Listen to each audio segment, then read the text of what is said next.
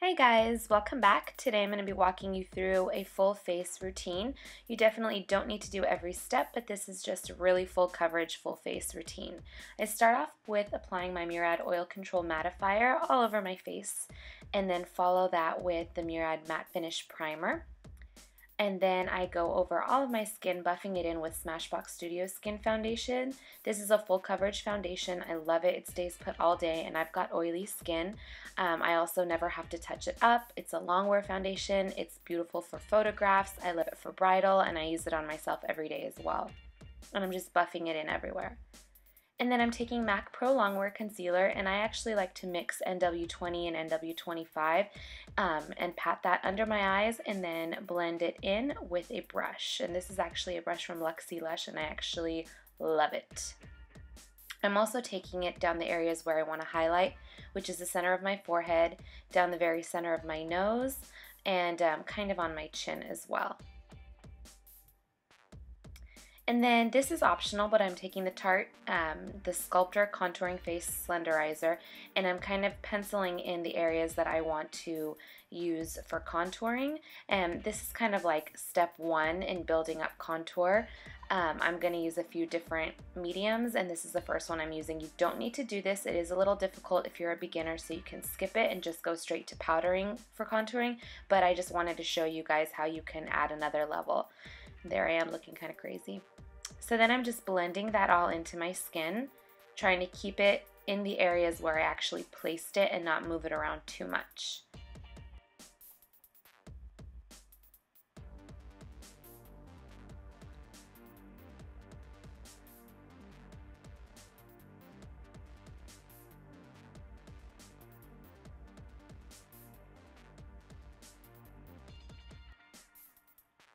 And then I'm going to take a smaller brush and go down the nose area. And when you contour your nose, you kind of want to contour a little bit narrower than your actual nose is.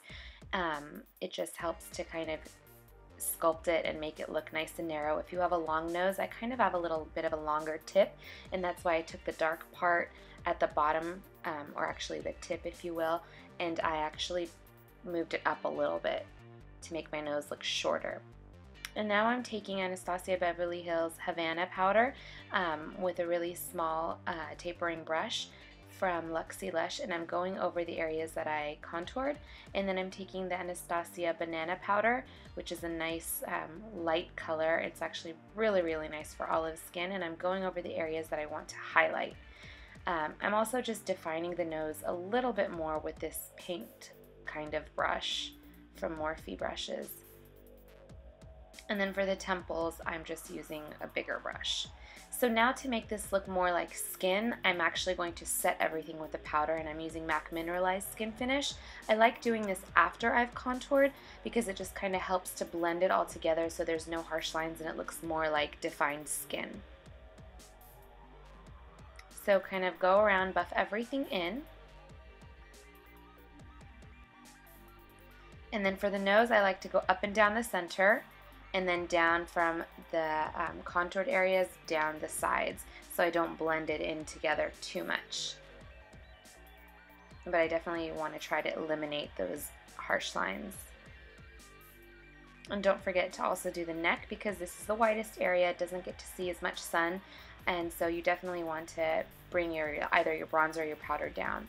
Then I'm following with MAC Launch Away Blush. You can use any blush. I don't really like too much color, so I'm just using a soft tint right here.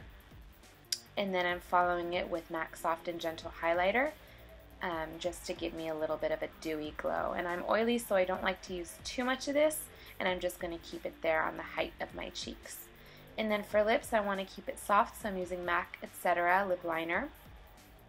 And then filling that in with Dose of Color Poise. It's a beautiful nude lipstick. And then Gerard Cosmetics Nude Lip Gloss. And I've got a code down below for you to get 25% off. And there's the final look. You definitely don't need to do this for an everyday wear, but I love full coverage makeup, and that's that. Thanks for watching so much, you guys. Comment below if you have any questions or special requests. I love you all. Bye!